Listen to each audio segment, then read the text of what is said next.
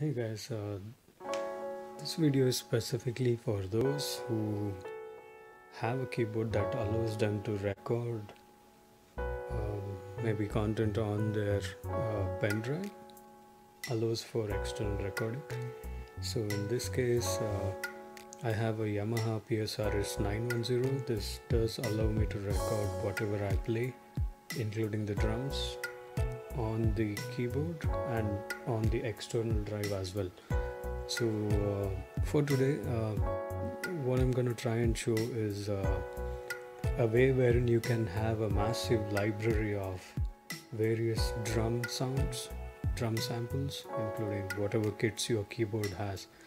So uh, this is specifically for those people who have a keyboard that allows them to record on maybe your uh, hard drive. So I'm going to take an example of how it works with Yamaha. So let's go to a beat sample or a, beat package here. So I'm going to get into the drums folder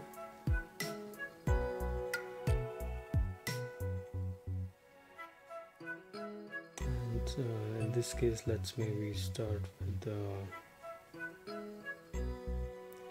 break kit or uh, whatever kit you want to start with so I started it and this is what the samples sound like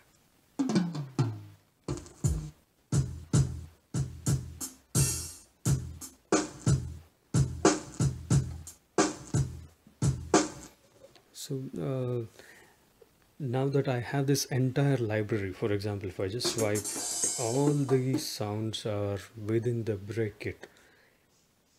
So what we can do is we can record each of these sounds using the USB function and make it as our own unique unique library.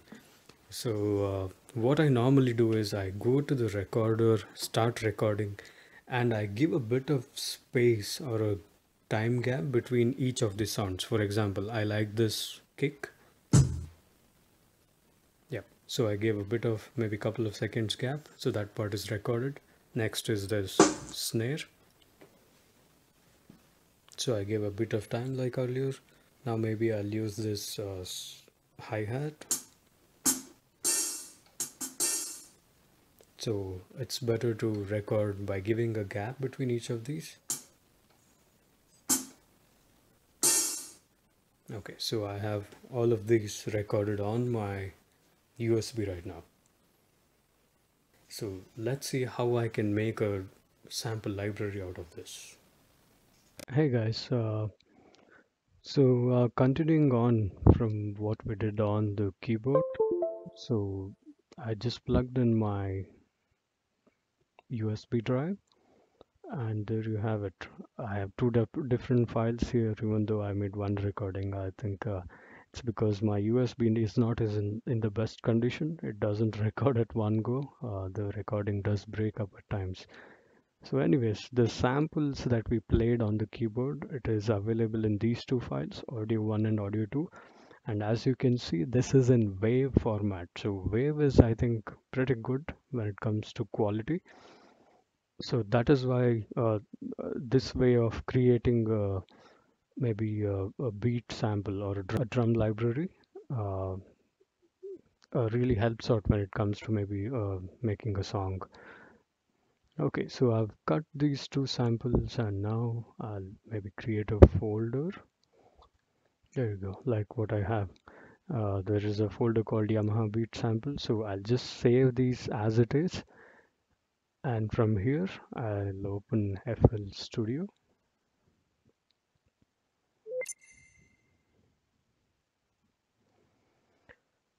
okay by default as you know uh, you'll have these um, four different uh, samples of kick clap hi-hat and a snare and I mean uh, these do definitely uh, these definitely do the job but uh, I don't know. I don't know about using them in every single project. get tired after a while. Yeah. You know how that sounds. okay. So uh, what I normally do after uh, saving these um,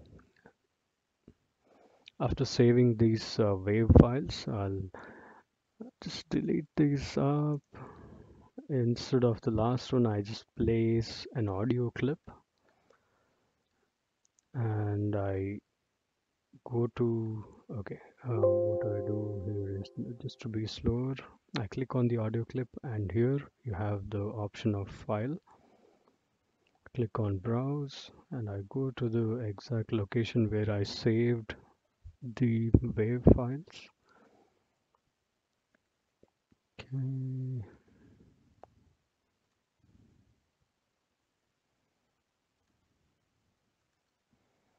Okay there you go. Uh, there you go. Uh, you have those two files located here I'll open one of them.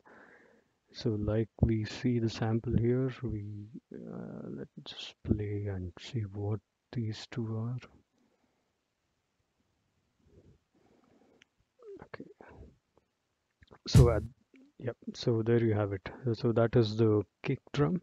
So what I do is I click on this uh, window here and press Ctrl E for Edison to open up. And from here I make the changes to these files so what I do is I'm just selecting the unnecessary part that is from here I need it all the way okay from here all the way till the end so I think this is the kick portion Yep, so that's the kick. So I'll maybe clean it up even better because I don't need even that tiny amount of gap there. So if you scroll in, it zooms in. So I think, yep, that sounds good. And the sample ends here. So I'm gonna cut off everything else after that. So uh, to cut, I'm doing a control X okay so this is the kick drum okay so now I'll save this as maybe 2 okay. Now similar to what I did with the kick I'll go to Edison for the original file again. This time I don't need this portion so I'm gonna go to the second bit. Cut the unnecessary bit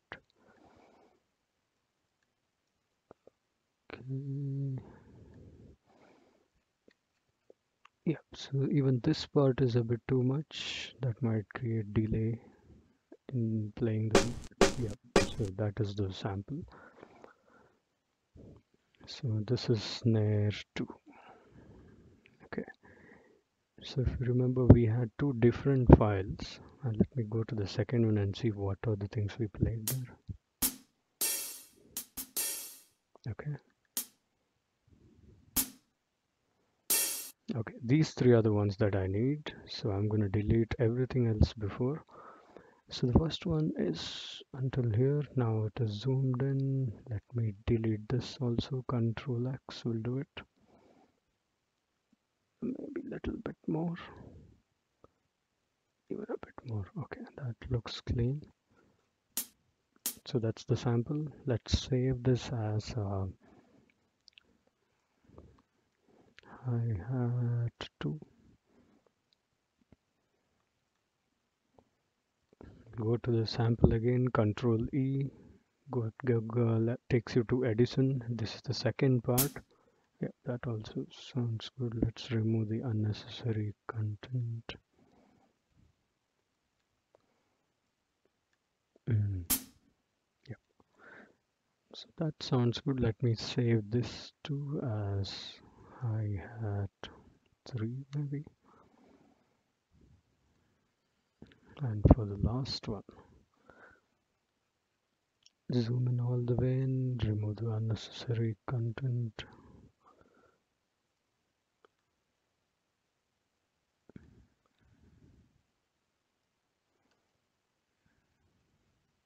Okay still have a bit left. Okay that sounds good. So this will be hi hat 4 maybe. Okay. So now you have this completely new drum sample with you. so all I do is I'll maybe clone the same thing now you just have to load the sample that you just saved so I just clicked on the audio and click on load sample. And here you have kick 2 okay so and uh, I'll click on the second sample. Maybe we load um, hi-hat 2 third sample will be snare 2 fourth one maybe hi-hat 3 maybe we'll add one more sample. hi-hat 4 okay.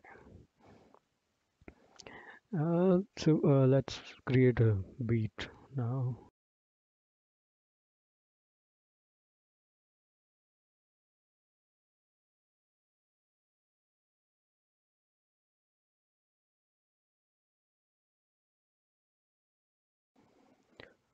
okay so here is the sample that we created out of the uh, uh, USB uh, out of the samples from the keyboard.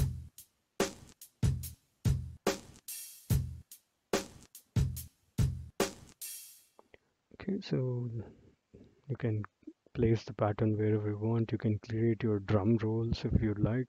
Uh, I mean it just sounds much better than how it might sound uh, if you use the stock plugins so there you have it. That is what I wanted to cover today. Uh, hope this helps you out on your projects and makes them sound more realistic than uh, using the stock plugins.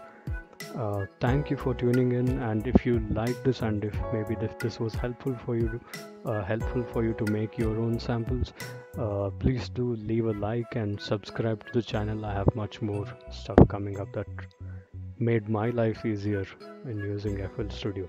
Thank you so much and have a great day. Bye bye